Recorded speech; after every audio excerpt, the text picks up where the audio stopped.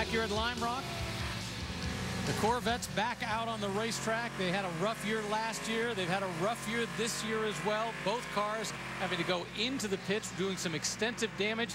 Now they're quite a ways down. But it's important to point out everything they learn here goes back into the street cars. Not just the cars, but also the tires as well. Chevrolet technology transfer.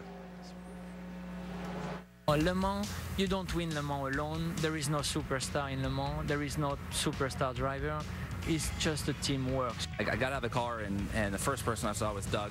And he, you know, he grabbed me, grabbed him by the helmet, you know, and, and uh, you know, told me that I did a, did a, did a good job, and you know, that I had one of my best stints of my life right there. To pass for the lead at Le Mans with you know a couple hours to go, I mean that's that's definitely one of the highlights of my life for sure. A lot of manufacturers will talk about the value of racing and what it brings to the production car, but most of that is talk. At Corvette, you can see it. It's real. You can touch it. You can feel it.